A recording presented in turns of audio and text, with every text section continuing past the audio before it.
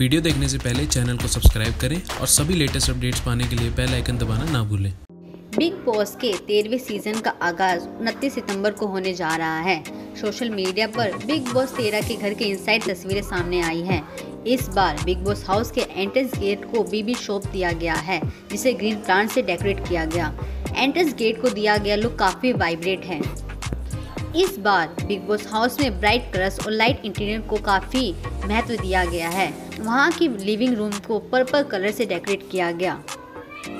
Open living room को modern बनाने के लिए एंटिंग शोपीस और फर्नीचर में सजाया गया। घर में दीवारों पर VO thumb up peace out who are you जैसे लिखे गए हैं।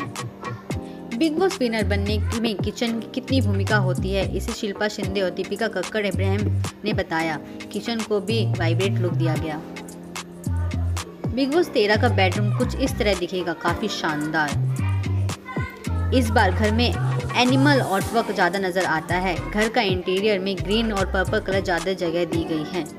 इस बार बिग बॉस का सेट मुंबई की फ़िल्म सिटी में बनाया गया है। इससे पहले सीज़न का सेट गोरेगांव में था। इस बार देखना होगा कि किचन में कौन दिखेगा।